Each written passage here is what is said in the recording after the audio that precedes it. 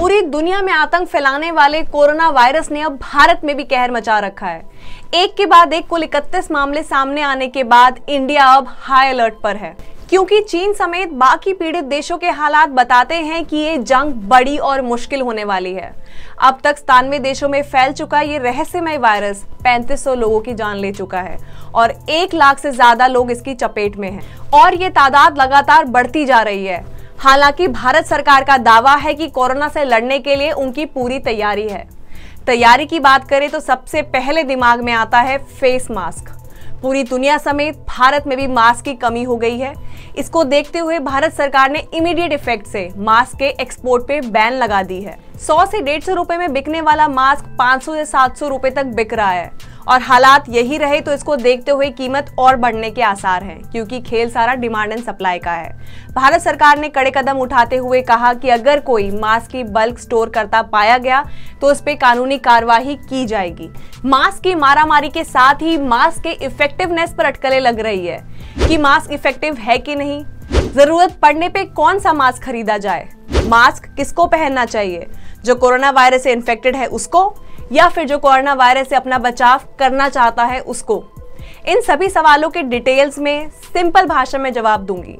बने रहे मेरे साथ वीडियो के एंड तक। और आगे बढ़ने से पहले, प्लीज़ मेरे चैनल को सब्सक्राइब कर लीजिए। आपके सपोर्ट के बिना ये वीडियोस बनाना मुमकिन नहीं है। तो सबसे पहले ये देख लेते हैं कि ये वायरस फैलता कैसे है।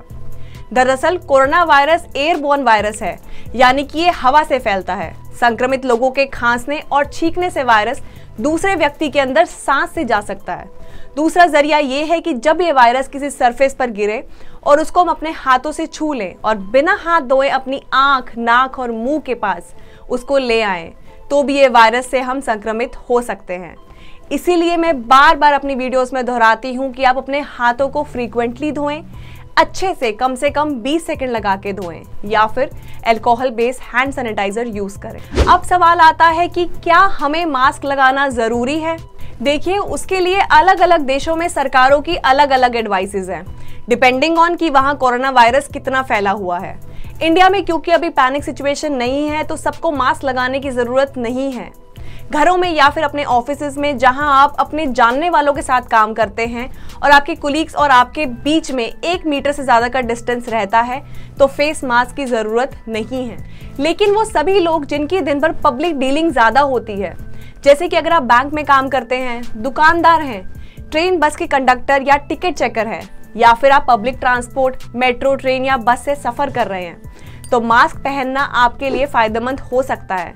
क्योंकि ना जाने कौन कोरोना वायरस से संक्रमित आपके संपर्क में आ जाए और आप भी कोरोना वायरस से इन्फेक्टेड हो जाएँ। इस समय भारत में फैले कोरोना वायरस को देखते हुए मास्क लगाना ज़रूरी है कि नहीं?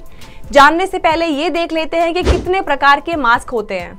ऐसे तो बहुत टाइप के मास्क होते हैं सर्जिकल एन सीरीज़ के N ninety five ninety nine और हंड्रेड आर सीरीज़ के R ninety five P series के पी नाइनटी फाइव हंड्रेड ये नंबर रिप्रेजेंट करता है कि डस्ट स्मोक बैक्टीरिया या फिर वायरस को वो मास्क कितने परसेंट तक रोक सकता है।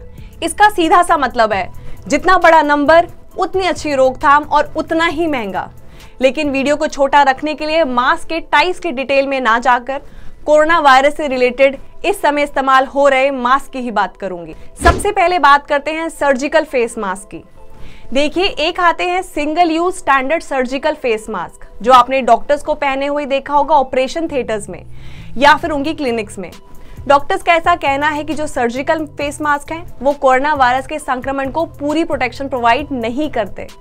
उसका रीजन ये है कि ये मास्क पतले होते हैं और हमारे फेस पर टाइट ग्रिप नहीं बना पाते। जिससे कि वायरसेस माउथ के एरिया से एंटर कर सकते हैं। दूसरे जो इस्तेमाल में आ रहे हैं, वो है N95 रेस्पिरेटर मास्क ये N95 मास्क 95 परसेंट तक पॉल्यूशन को फ़िल्टर करता है, जैसे कि डस्ट बैक्टीरिया या वायरस अगर आप शेप पर ध्यान दें तो इस N95 फेस मास्क की बनावट गोलाई में है। पिछले साल जब दिल्ली में पोल्यूशन वाली दिक्कत हुई थी, तब ज़्यादातर N95 फेस मास्क का ही इस्तेमाल किया गया था। सर्जिकल फेस मास्क के मुकाबले ये मोटा होता है, इसमें लेयरिंग ज़्यादा होती है और फेस पर ग्रिप भी टाइट आती है, जिससे वायरसेस इजीली एंटर नहीं कर पाते। अब आते हैं मुद्दे की बात पे। इस समय मास्क लगाना ज़रूरी है कि नहीं?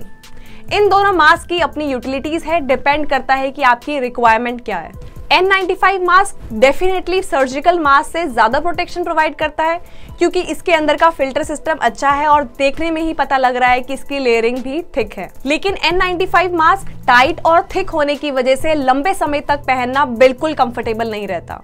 जिन लोगों को सांस की दिक्कत है, उनके लिए तो बिल्कुल ठीक नहीं है इसे इस्तेमाल करना। वहीं सर्जिकल मास्क की वायरस प्रोटेक्शन कवरेज ज़्यादा नहीं है, पर एक चीज़ से ये हमें सेफ़ रखता है, जो कोरोना वायरस से बचने के लिए बहुत महत्वपूर्ण है। अगर हम ये मास्क पहनते हैं तो हम अपने हाथों को डायरेक्ट फेस नोज़ आईज को टच करने से बच जाते हैं। और यही अपने आप को इस वायरस के संक्रमण से बचाने का सबसे इम्पोर्टेंट प्रिकॉशन भी है। जैसा मैंने पहले कहा, दोनों मास्क की अपनी यूटिलिटी है, इसलिए सर्जिकल मास्क भी रिकमेंडेड है। गाइस अगर आपको ये वीडियो इन्फॉर्मेटिव लगी हो तो प्लीज़ अपने फ्रेंड्स फैमिली के साथ ज़रूर शेयर करें, क्योंकि शेयरिंग इज़ केयरिंग एक इंपॉर्टेंट चीज़ और, मैंने अपने चैनल पर पोल यानी कि वोटिंग के लिए पोस्ट डाला हुआ है, कि क्या मुझे अपने चैनल का नाम चेंज कर लेना चाहिए? आपको क्या लगता है? अगर हाँ तो प्लीज़ कुछ नाम सजेस्ट करें। Thank you so much everyone अभी तक 1100 से ज़्यादा लोगों ने उस पोल में हिस्सा लिया और कमेंट्स के थ्रू अपने सुझाव भी दिए। जल्दी मैं अपने चैनल का नया नाम बताऊँगी। चैनल यही रहेगा इन्फॉर्मेटिव वीडियोस बस नाम आशिमास किचन से अलग होगा। तो गाय स्टे ट्यून मिलते हैं मेरी अगली वीडियो में।